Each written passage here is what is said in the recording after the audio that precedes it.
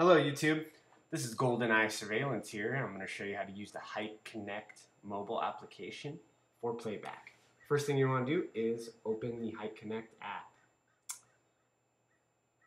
From here you can select which camera you'd like to play back. For this example I'm going to be selecting Alley 1. First I start live view and I blow it up. Here's the live view. Now to hit playback press the top play button.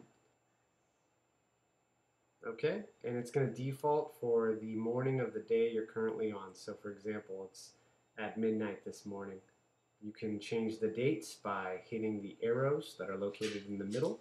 For example, let's go to yesterday morning at 12 midnight. These cameras are set up to motion, so you can see on the bottom when there is a red tag that identifies there is motion detected in the camera. So let's go over here to about 5 in the morning.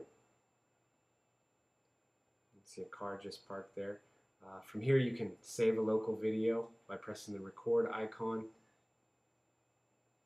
After, let's say, you find the file you'd like to save, press it again and it take you to another file. This is where you can send it, save it. Uh, to save it, to send it via text or email, just press the bottom button. Looks like a floppy disk icon. Give it a second, saves its local storage, and now you can send that out. Okay, I hope this helps you. Thanks for watching.